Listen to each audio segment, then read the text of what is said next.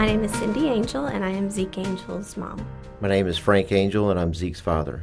When Zeke was about 12 or 13, he was not growing and very thin. He began to have severe stomach pains. When he became very chronically sick, I think we were at our wits' end. We have a lot of celiac in our family, so I assumed it might be that and took him to a GI doctor immediately for an endoscopy. And what they found instead was eosinophilic esophagitis. After we found out what his diagnosis was, we realized absolutely this started from the minute he put food in his mouth. He's been severely allergic and reactive to foods his entire life. Zeke was on a television show, MTV True Life I'm Allergic to Everything. It's really hard to deal with. I think that the bullying that got on TV was good because that happens a lot.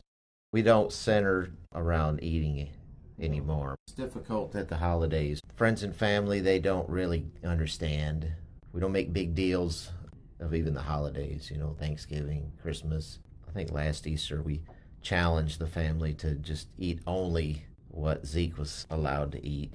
But, but they didn't really. They had they put like other things on the food, you know. It wasn't really just what I could well, eat. I know there were like 45 baked potatoes in the house, but they couldn't have them without having sour cream and cheese and all the stuff, you know. It just needs to be a baked potato with salt and the butter that he's allowed to eat. That's it.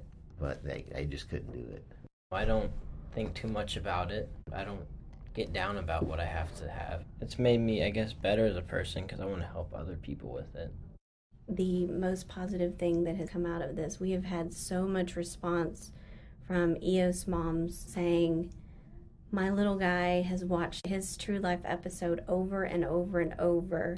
And now he's like, I can play sports because Zeke plays sports. So things like that are, I think, what he was striving for. It's very nice to encourage people and, and help them in that way.